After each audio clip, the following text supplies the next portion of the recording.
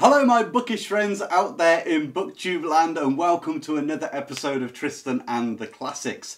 In this episode, we're taking a look at how to understand literature more fully, um, specifically focusing on just one aspect of creating characters, and that is the humours. Have you ever heard of the humours before? So, without further ado, let's get stuck in, shall we? Just to say before we start, if you've wondered where I've been for the past four months, in the last video before this one, um, I give a few minutes, a five minute update on what's been happening in my life and why I've vanished. So if you're curious, go and watch that. So let's get into this topic of the humours. Do you know what humours are? You may immediately think of the medieval humours linked to medieval medicine, so phlegm, bile, choler and sanguine, where you've got to have this balance of humours in your body, otherwise you get ill. That's not what we're talking about in literature. Humours in literature, as we're talking about, come from sort of Ben Jonson's time, so contemporary of Shakespeare, called the Comedy of Humours. It's, it's known as New Comedy.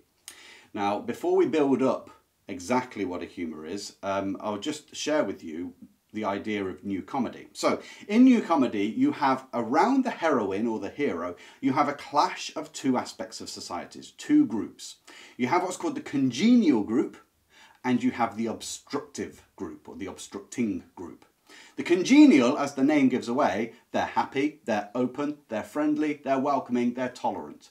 The obstructive group are those who are dogmatic, bombastic, fixed in their ways.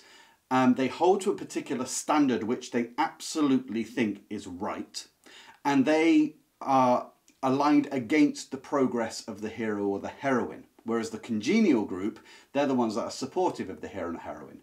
And to construct these groups, what you have are humours, and that is a character that is built solely around one attribute, one quality, not a physical attribute, a quality.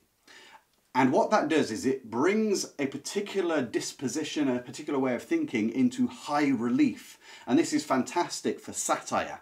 You can you can sort of satire, if you think of satire, you can think of it sort of being like a cartoon of real life, but it's not as primitive as a cartoon.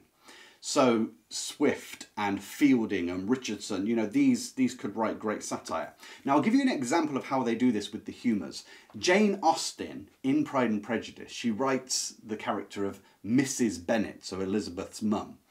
Now, she's a hypochondriac, and she's a pretty 2D character, even though she's quite entertaining to read, because her whole life is built around hypochondria. Whenever something goes wrong, what does she say? Oh, my nerves, my nerves, whatever is to become of us. Or, Mr. Bennet, you have no consideration for my poor nerves.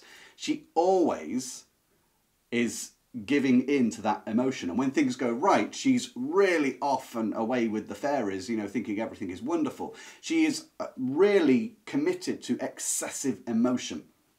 And what that does for Austen is it helps her ridicule a particular aspect of her society, particularly the parental age, because they come from the late 18th century. And back in the 18th century, the Romantic period is at its height, Romanticism, and that caused people to give in to their emotions. The more you could express how you felt, the more sophisticated you were, to the point that people would, I'm talking like full grown men, bursting into tears at the sight of a forget me not okay, which is a bit excessive. So that was sentimentality or sensibility, and it's what's being critiqued in the book, Sense and Sensibility, okay? Now, that's brought about by having a humour. This one character who is built around a particular trait. Austen doesn't make all of her characters humours, um, but there is one writer who particular, particularly uses humours better than anyone else, in my opinion, and that is Charles Dickens. So, for the majority of this video, we're going to be referring to Charles Dickens characters because they, they are probably the best example of it. So let's just set up what happens when you're using humours as your main focus in a book. Based, I think we've just mentioned, we've got a congenial society, and we have an obstructing society in new comedy, which is where you use the comedy of humours. The congenial society supports the heroine or the hero. They are congenial, so they are welcoming, tolerant, open, happy, all that kind of stuff. Then you have the other aspect of the world, which is the obstructing society. So they block the heroine or the hero's progress. They block, if you can hear creaking by the way, uh, old floorboards uh, in the house. So my wife's above me right now. I don't know what she's doing. Jumping on the bed, perhaps. We're all children at heart. Um, so the obstructing society, they don't want society to change, so they block anything which is out of the ordinary for them. And a new comedy always resolves in an improvement of society at the end. But, and it also involves the improvement of the heroine or the people whom the heroine interacts with. To get such a clash, the writers will often use humours to typify the certain positions of characters. And in the obstructing society, they are, they are very deliberate.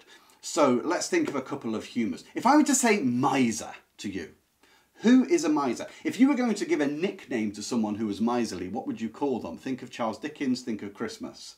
Scrooge. Scrooge is a humour. He is built around miserliness. Everything about him is miserly, okay, until towards the end we get a changing of the masks. Um, other characters, Miss Havisham in Great Expectations. There she is in her wedding dress. Everything about her is frozen in time. She is epitomised around revenge and a clinging, sort of a harbouring of resentment is what she is. She cannot let go of things. So everything about her is built around that. And it actually makes for a very vivid character. It doesn't necessarily make for a rounded character but vivid. They stand off the page to us and we can see what they stand for. And what's great about them is when you amplify a particular quality, it's why with Dickens, even though we sometimes call his characters grotesque or caricatures, I use those phrases, but it's not exactly right, they are humours. It's why you read Dickens and you can immediately recognise someone you know as being that person just because they may have a disposition to a certain way of acting or seeing the world, and it's brought into high relief by Dickens. And he does that by removing the nuance of that character and focusing in on one particular aspect of them and sort of making them embody it in total. So, um, other characters that you would have um, Uriah Heep. Uriah Heep and David Copperfield, I'm ever so humble. This oily, snake like, scheming, character in the background that is just faux humility and hypocrisy. But he, he's obsequious, isn't he? Yeah, so obsequy is sort of what he is built around because it's obsequious in order to advance his own agenda. Do you see how he becomes this humour? Okay, a style, a feeling, an emotion that is embodied, that's focused on it. It's almost an obsessional point of focus. Then you've got somebody like Paul Dombey, so Paul Dombey is proud. Right at the beginning of Dombey and Son, you see him sat there with his newborn child, um, and he's saying Dombey and Son, rolling the words around because he loves his trade company that he's built, the name of his family. He thinks he's above everything. And of course, this follows, you know, he is a very implacable, unbending character through the whole book. He's a humour. Speaking of Dombey and Son, actually, some good characters in that. There is a character called Carker Carker is a humour as well. He's sort of the real bad guy in the whole book because although he doesn't overtly do anything bad, you know he is a Machiavel.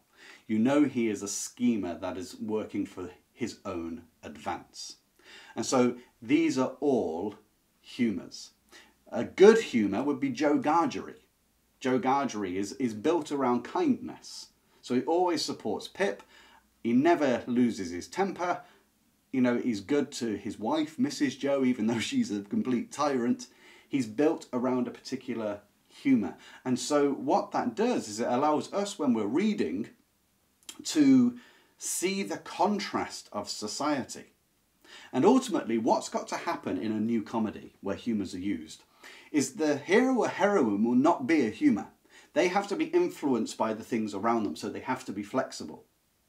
And you're going to see how they interact between the two societies. But the comedy itself will always resolve in an improvement of society. The obstructive society will always lose, so you always have a happy ending. Doesn't mean to say you can't have people die. You can have main characters die in a humour, but the overall effect is positive and it leads to an improvement of society as a whole and some kind of crumbling of the opposition. And this is something I might bring out about writing the new comedies and humour. It allows for sentimentalism. Um, when we think of Dickens, sometimes you can feel the emotion, the, the deliberate playing of emotion on the reader, trying to manipulate them, um, to the point of sometimes being a bit maudlin, you know, over, overly much. And I love Dickens, but I'm happy to say that about some of his work. So, how do you actually create the humour? Well, we've said we focus on one aspect of the personality. So that's that is really the central part. But what you have to do is you sort of have to put little flags up for the reader. And there's a, an aspect of creating humours which is called the tagged humour. So something is tagged onto them, which becomes symbolic of them, which causes the reader's mind to incline a certain way, to perceive everything a certain way. It's very clever, actually, how this is done. Now, the tag can be, it can be a, a characteristic, a, man, a mannerism, like grinding your hands together, which would, you know, say a bit greedy or obsequious. Um, normally, though, you have the verbal tag. So it's something that a character keeps on saying. So whenever they turn up, they keep saying something. For instance, Joe Gargery. Ever the best of friends, Pip, ain't we? Ever the best of friends. So he repeats this a number of times when things get a bit thick, a bit, you know, dicey it shows us that in his mind he will never alter from a good standpoint. And it brings out this quality of goodness is such stark contrast to the other characters who are in Pip's life that cause him to move away from Joe. And of course, the whole book resolves itself in, in Pip understanding that a true gentleman, true nobility comes from within, not from the external. But there's that verbal lick that he uses. And he's not the only one. So um, John Jarndyce in Bleak House. Oh, how are you, John? Oh, it's the, the east wind is blowing. The east wind is blowing. The east wind always means um, an unfavourable wind. Things are bad. But he's not a critical character. He doesn't like things being disruptive.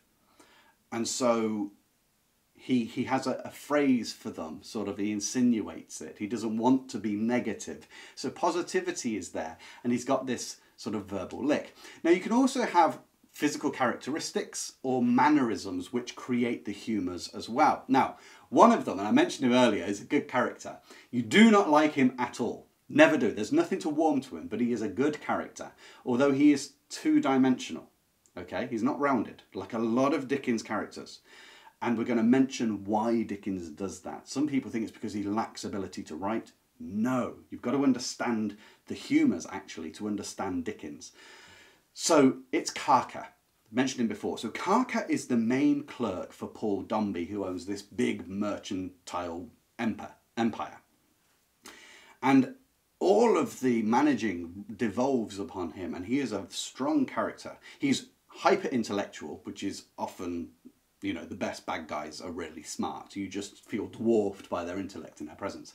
But every time he comes in, um, or our main character has to deal with him, or someone is dealing with him on behalf of the main character. Remember, obstructing society congenial. They want to do something for the character, obstructors don't.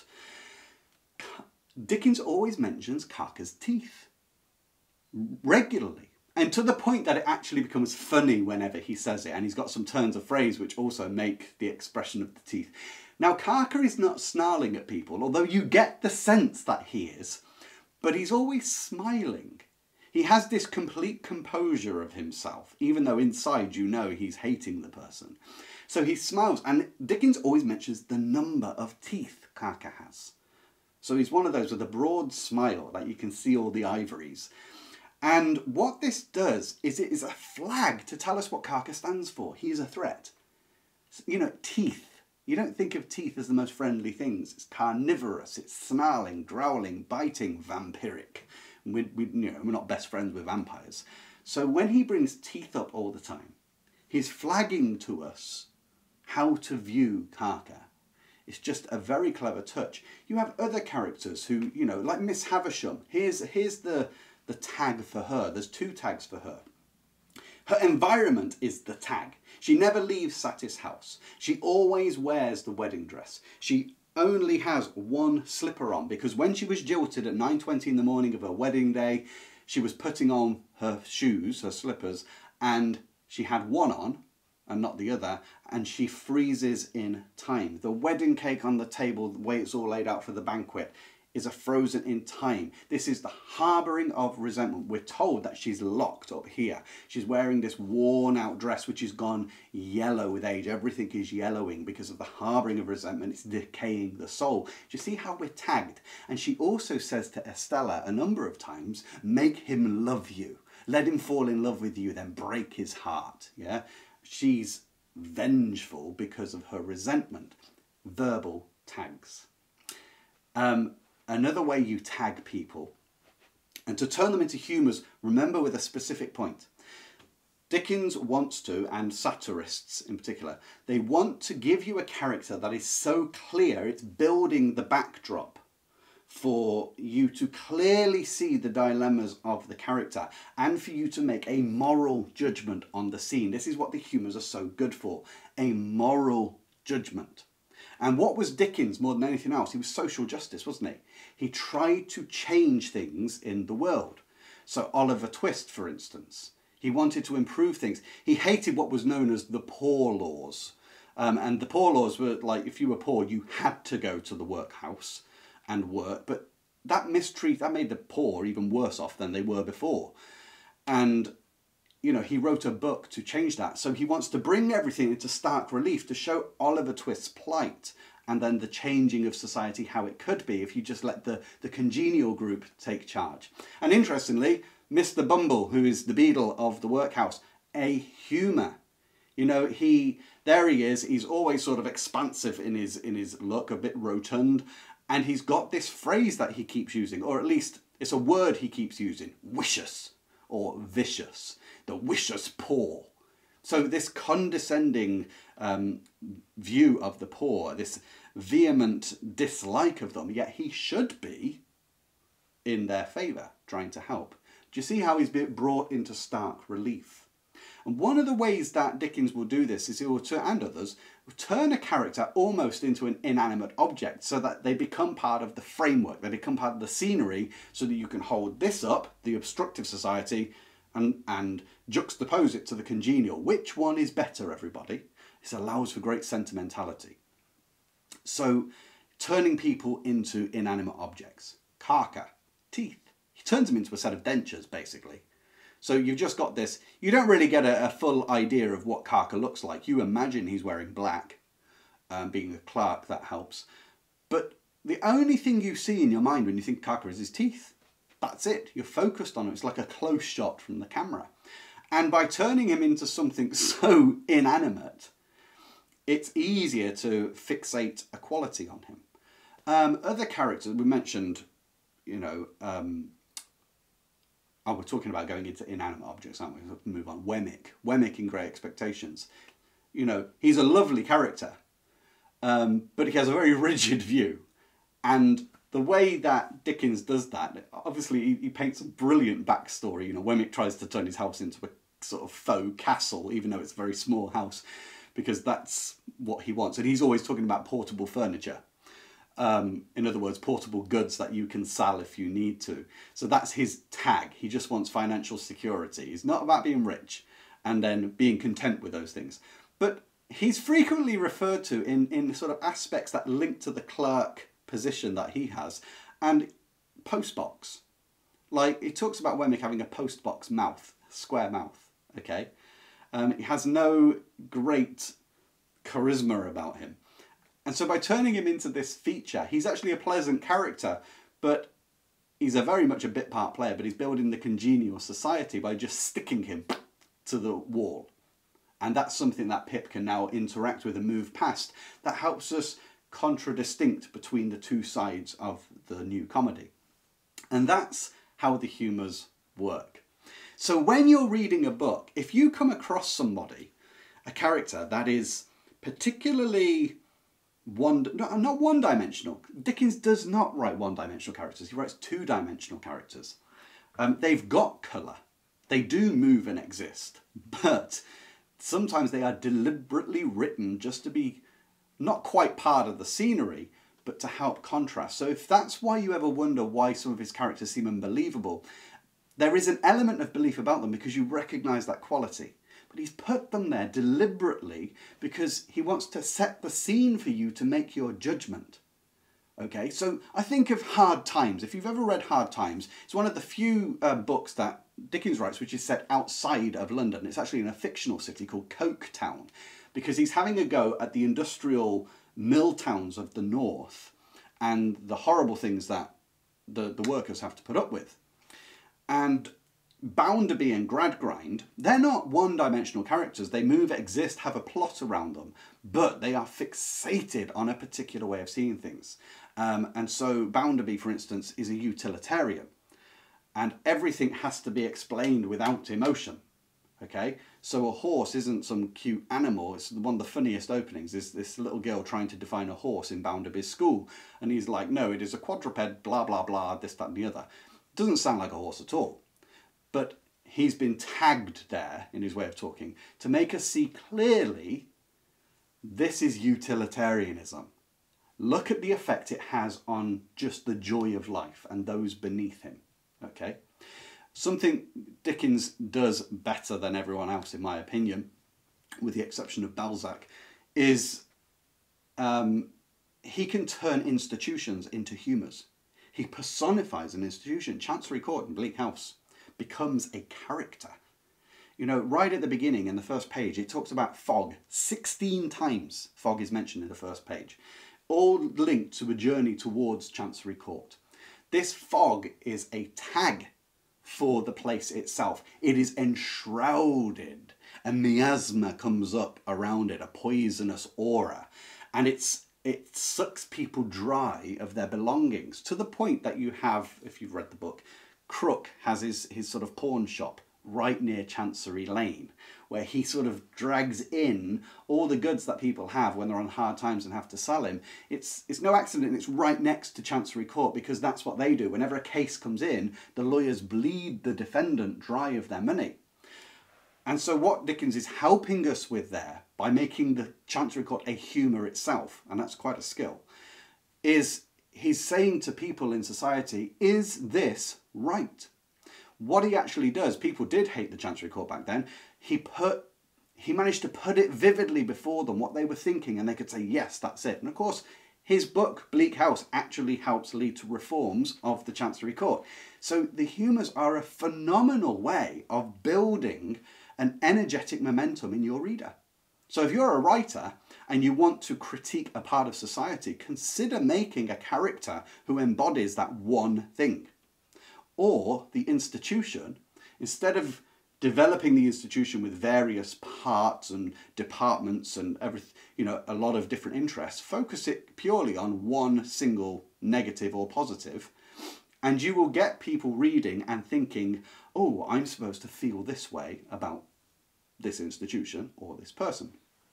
And that's something to look out for in your own reading. So if you're ever reading a book and you come across someone who seems to be obsessively stuck around one characteristic, particularly if they're unchanging, put a line from their name when you first meet them into the margin and write, is this a humour?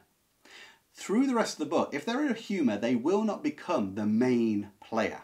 They can be significantly influential on the heroine or the hero, but they're not the main player. Heroes and heroines are never humours.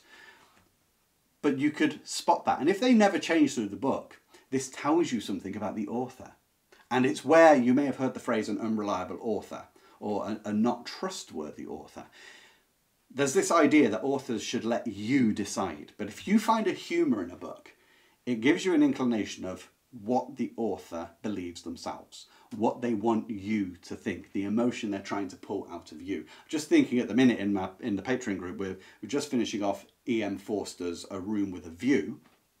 Um, we're not having discussions over it. We all read it individually, and I come on at the end and do a, a review of it.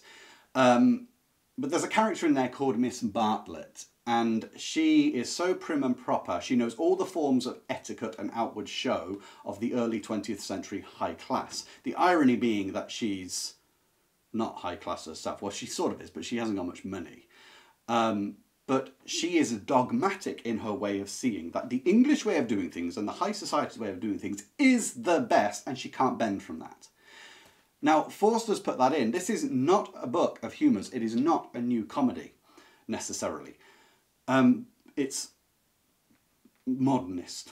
Um, but he brings her in because it's so useful to typify the part of society he is ridiculing. He's satirising the rigid, rigid forms that are expected of people, which robs them of their joy. So I'm being told by Forster there He's helping me with a character to emotionally connect with the problem in society. He's making something that's sort of ethereal, philosophical, and he's condensing it into something I can watch and behold and, and dislike and think, oh, they've got that wrong. And then when that's juxtaposed with the congenial characters, wow, yes, this is a much better way of doing things. Do you see how that works? Absolutely brilliant technique. It's been used, like I said, Ben, the Greeks did all this, but Ben Jonson, that time period of Shakespeare, literature went through a dramatic shift and new ideas based on the Greeks were formed and obviously the novel eventually becomes the dominant piece of literature that comes out of all of that. So those are the humours. A humour is a character that is built obsessively around one emotion or one quality of living.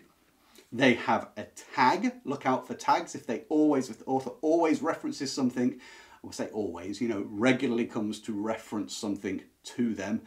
Um, it might just be that they say random statements.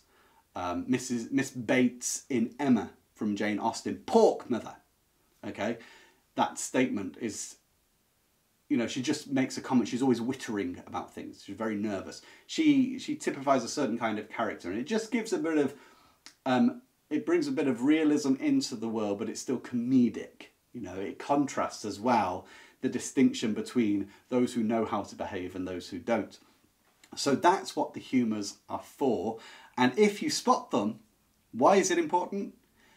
Because it adds to your enjoyment of the flavour of a book. When you can go, oh, look at that, that's a humour. That's the author trying to tell me something. Um, do I agree with it? Am I supposed to have a, am I supposed to be making a moral distinction here. Um, do I agree with it? That allows you just to savour it, even if you don't want to agree. You've stepped off, in one of my old videos I talk about most people when they read a book, they're like on a train journey and the, the scenery whizzes by and they say, oh, that's lovely. But when you can see things like this, you're stepping off the train. You're no longer seeing the vast panorama. You're looking up at a piece of the architecture, you know, a bit of carving on a church or on a building or something, as opposed to just the broad spectrum scene. So I hope you've enjoyed this video, a bit more in depth. And um, yeah, tell me what you think in the comments below. And if you want to know where I've been, like I say, just watch my last video because I explain what's happened to me.